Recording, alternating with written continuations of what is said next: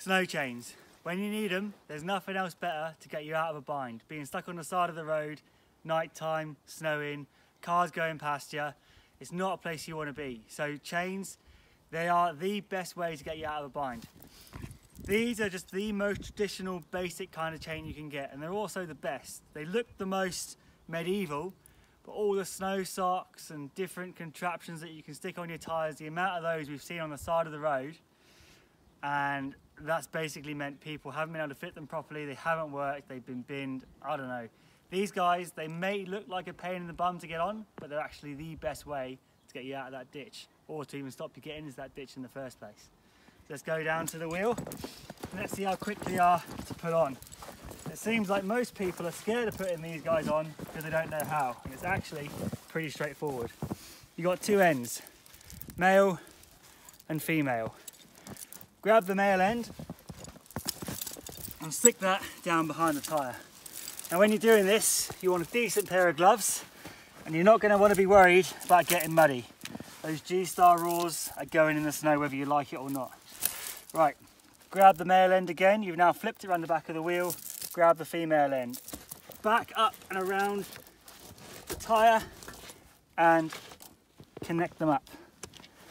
Boom, like that. There's a little bit of snow stuck in there. Make sure that's out before you try and connect it up because it's going to be a nightmare otherwise. The next thing you want to do is you want to get this section here and this section here. They're always going to be at the top because they're always married up to this section here. So you get this red guy in this instance and this little bit of chain and you connect those two together just like that. Boom, okay? And that means you can then move the rest of the chain behind the wheel and it's not going to fall off and go anywhere. The next pieces you want is you want this little loop here. You want this red piece here that acts like a winch and it gives the chain its tension. And then somewhere in all of this mess is the little hook and that comes on a piece of chain like that. So get that coming through in a nice straight line so it's not twisted up.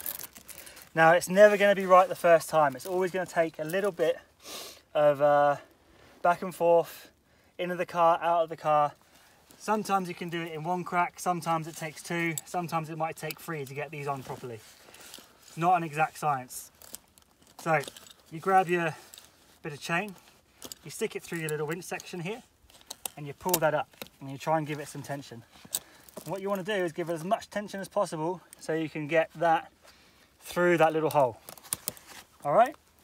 And that's what's going to stop it when you start uh, trying to adjust it and tighten it up. That's what's going to stop it going back behind the wheel again. If you try and move it forward and back now, you're just going to end up with this wrapped around your axle nightmare. All right, so we want to go forward about five meters.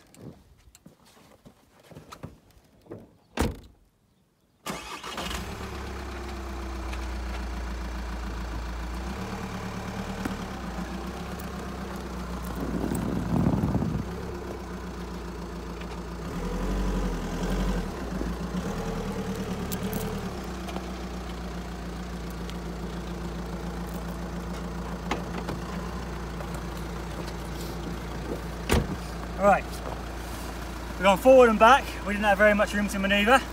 And you can see this is all still loose. You can't drive like that. That's gonna come off and it's gonna cause you a mischief. This bit can come off and start flailing around and smashing up your wheel arch, which you do not want, obviously. So basically then you take off this, you put it back through the hole, and you see how much more tension you can get on this guy.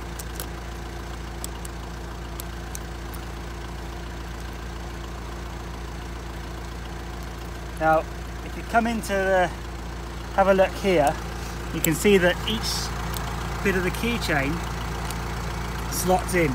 So you want to find a nice place where that slots in. It won't slot in if the chain is on, for example, this section here. It needs to be on one of these sections. All right? So going in, you might need to hold your thumb there just to stop it falling out while there's no tension on it. Okay, and now you can see how much more tension we've got on the chain. Quite a lot. Now that is not 100%. You could probably drive like that, but I wouldn't want to because it's still got plenty of play. So let's go back and forwards again.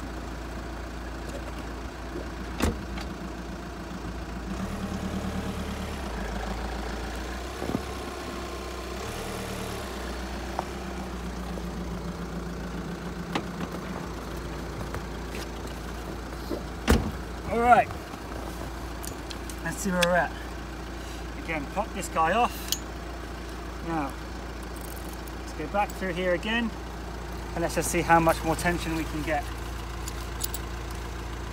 We can go right to the end. Obviously you want to make sure the snow chains fit to your wheel. Um, these ones are pretty much maxed out on this wheel we've got here. I wouldn't want to go any bigger than this chain. You also got to make sure that the chain is the right uh, strength ratio, I guess you'd say, to the, the type of vehicle you're using. So if you've got a car, you probably have a 9 millimeter chain. If you've got a van, like this one, you want to go for a 12 millimeter chain. If you've got a 4x4 or bigger, probably going to go all the way up to a 15 mil. Same thing for a truck. All right. So that's that chain on. Boom. Now, we're on the road, we're moving.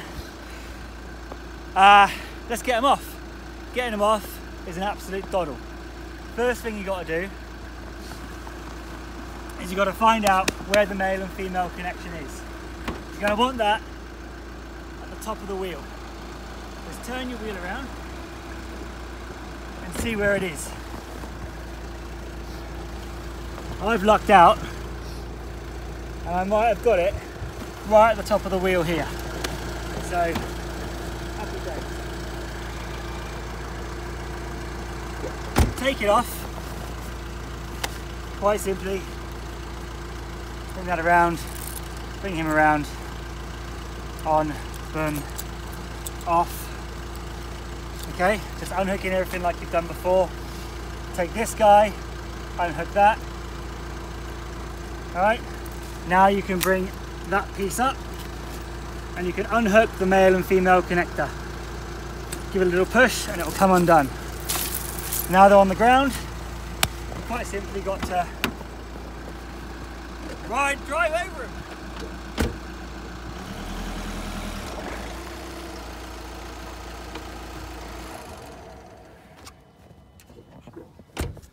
And that's the chains off.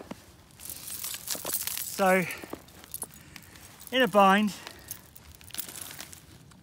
They're not really all that hard to put on. They're uh, the best and safest way to navigate in the snow and uh, yeah, just get in there and do it.